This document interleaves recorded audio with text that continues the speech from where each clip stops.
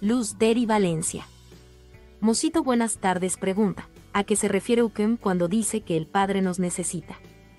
Esta es la PAC 216 del libro de ejercicios. Bueno, no tengo la paginación, querida Luz Dari, te ofrezco una disculpa desde el fondo de mi cocoro. No tengo la paginación. No sé cuál es la página 216, porque mira, aquí eh, a nivel electrónico solo tengo los temas. ¿Serías tan amable, querida amiga, de darme el capítulo, el subcapítulo, el párrafo y la frase. Y así de bolón ping-pong lo podríamos encontrar. Pero lo voy a buscar con la frase que me pones aquí que el Padre nos necesita. A ver si la llego a encontrar. Padre nos necesita. Nos creó, nos dio, nos, nos llama, ¿no? Tal vez. No encuentro esa de nos necesita. Tengo que el Padre nos creó. El Padre nos da la bienvenida a todos. Queremos conservar los regalos que nuestro Padre nos dio. Nuestro Padre nos ha concedido. Nuestro Padre nos llama. No sé. Pero no he encontrado el de nos necesita. ¿Alguno de ustedes tiene esa referencia? Del libro de ejercicios punto 13. ¿Cuál será? Padre. Bien, mientras alguno de ustedes me dice más o menos por dónde estará esa sección, hay que recordar algunas cosas. Primero, es posible que gran parte del lenguaje que vemos escrito en el curso de milagros sea metafórico. Esto quiere decir que son símbolos, no son exactamente cosas literales. Por ejemplo, hay partes donde se nos dice, Dios mismo enjugará toda lágrima. Padre, a menos que juzgue, no puedo sollozar, tampoco puedo experimentar dolor, sentirme abandonado, creer que no se me necesita en este mundo. Este es mi hogar porque no lo juzgo y por lo tanto es únicamente lo que tú quieres que sea. Hoy lo quiero contemplar libre de toda condena a través de ojos felices, que el perdón ha liberado de toda distorsión. En fin, Dios mismo enjugará toda lágrima es una metáfora, porque enjugar una lágrima significa que te la voy a limpiar yo. Entre humanos lo podemos hacer, físicamente porque tenemos cuerpos. Un cuerpo a otro le puede limpiar las lágrimas. Pero decir que Dios limpiará tus lágrimas es una metáfora. Es una forma de decirte, Dios estará contigo consolándote en el momento en el que sientas que las cosas están complicadas. Así que cuando dice que el Padre nos necesita, puede ser, querida amiga, que se refiera a que hagamos equipo con el amor que pertenece a Dios. Es una metáfora. A mí me gustaría leer todo ese párrafo, pero si fueras tan amable, Luzdari, de darme exactamente qué ejercicio es, porque si está en el libro de ejercicios, me puedes decir, mira, es, el ejercicio 100 en, la, en el punto 13, es mucho más sencillo.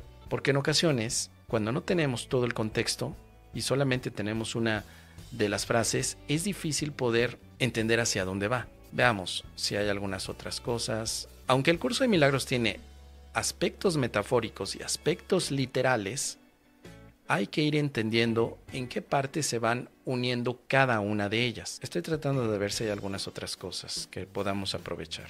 Aquí, pues tal vez la paz y la dicha, bueno, esto no, la verdad, el conflicto no existe. Por ejemplo, la lección 331 habla de algo muy literal, esto no es una metáfora. El conflicto no existe, pues mi voluntad es la tuya.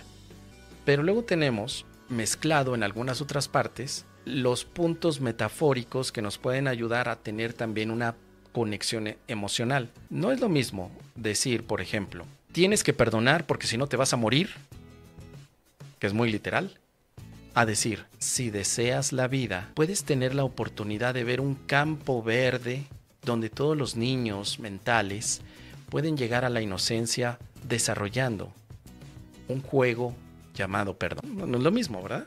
Una cosa literal y la otra es más emocional. Las metáforas tienen como objetivo lo emocional. Los que han estado leyendo un curso de milagros de pronto se encuentran llorando. Lloran en las partes más metafóricas que el curso de milagros implica. Y ahorita que me acordé de metáfora, también había, hay una sección que me gusta mucho que es la canción olvidada. La canción olvidada juega mucho con el aspecto de la metáfora. Porque imagínate, la canción olvidada, si la tomamos como literal, quiere decir que alguien escribió la canción, que quién la escribió, que por qué no está en Spotify, por qué no la puedo escuchar en YouTube Music, dónde está la canción olvidada. Y si la canción se olvidó, pues cómo la vas a recordar.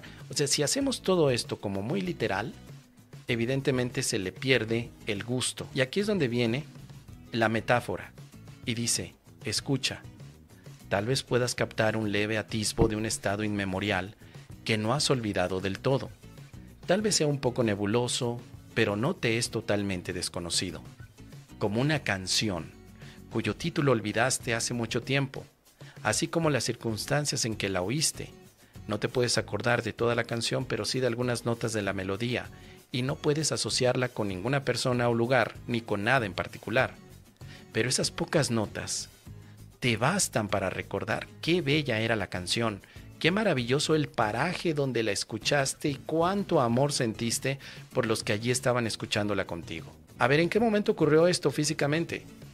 Yo no me acuerdo, pero me conecta a nivel emocional porque es una metáfora de la paz interior que está en tu mente. Es una metáfora, como un poema.